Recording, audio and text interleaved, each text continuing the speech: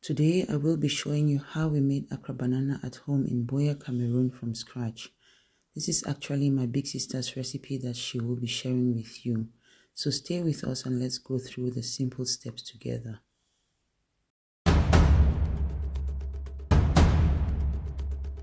The quantity we made was just enough for 5 people. So we used 8 ripe bananas, a generous pinch of salt to balance the taste. You know that mild, sweet, savory contrast, right? And then we also used about 500 grams to 1 kilogram of grated cassava with some of the starch already squeezed out. Since we didn't weigh it on a scale, it's difficult to tell the exact measurement. But this will, um, but this was a full mini plastic bag. You know the kind you get from the market when you um, buy fresh tomatoes, green spices, and other small things. And also a teaspoon of baking powder was added for fluffiness. As you can see, I'm mashing the bananas gradually, not just pounding everything together because I don't want to have huge chunks of bananas in the dough.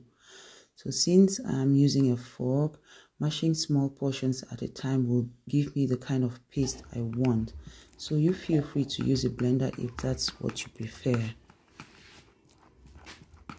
Now Big Sis is going to add a pinch of salt. Okay, a generous pinch of salt.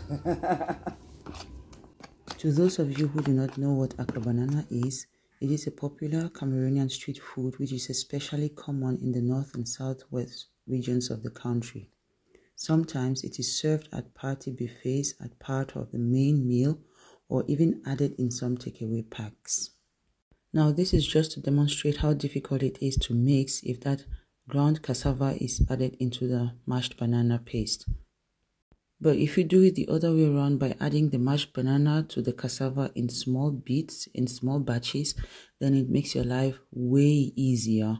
It is even better to use the hands because you can get a better feel of the paste and it will be easier to squash any lumps that you may come across. So now it's teamwork.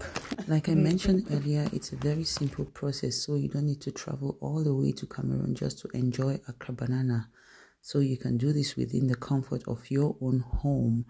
But this does not rule out the fact that Accra banana tastes way better in Cameroon because, because, because home is home. Home, sweet home.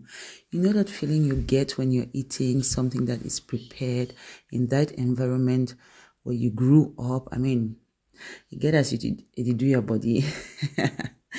yeah, so the best place to enjoy it still is home in Cameroon because that's where you get authentic Accra banana.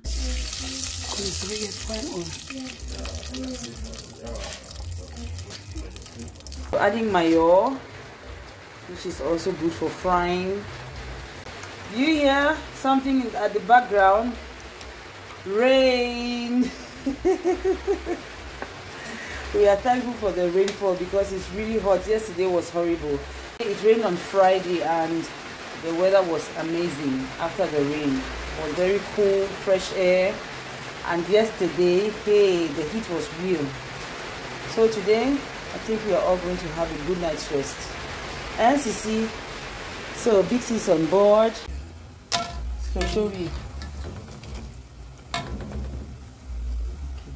Oh, just look at this goodness. It tastes excellent with pepper sauce, corn pap, and beans, or you can simply enjoy it however you want. In my case, I had it with sauteed chicken and vegetables as shown in the intro of this video. I'm going to link that tutorial in the description box and at the end of this uh, video too. Do not forget to give it a click. Kindly help me grow my channel by giving this video a thumb up, subscribe and turn on the post notification bell. Your encouraging comments and upbuilding critiques are always welcome. And last but not least, please share this video and others from my channel on your social media platform so that I can reach out to more audience. Thank you so much for watching and see you in my next one. Bye bye.